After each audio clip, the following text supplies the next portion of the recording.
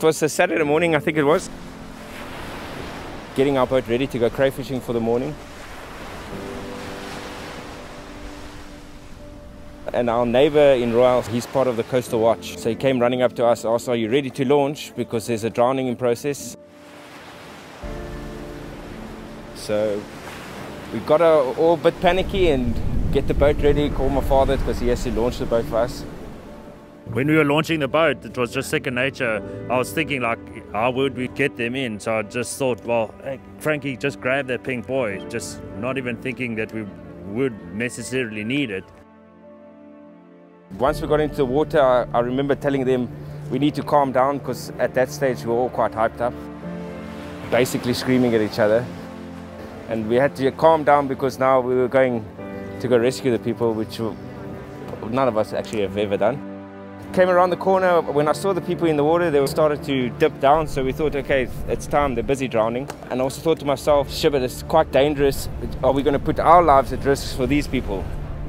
you don't think about it anymore. And I started to, I turned the boat around. I've learned from a young age from my father always to keep your nose in into the waves. So I turned the boat around, faced the waves, and reversed in. Uh, when we got there, we tried to throw the buoy, but the wind was too strong and it just got blown backwards. And then realized we couldn't get close enough.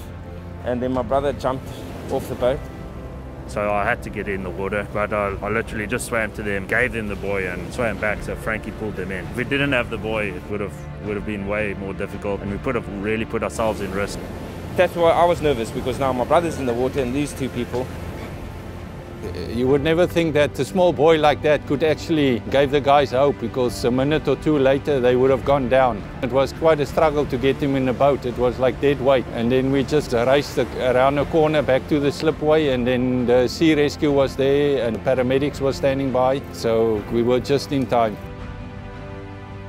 Just having that pink buoy with 100 newtons of flotation in it gives you the confidence to actually go and do the rescue. And just knowing that when you swim in there, you've got this thing to hold on to, you're going to be able to survive. I think that's the important part. So, you know, from, from the National Sea Rescue Institute to you guys, well done.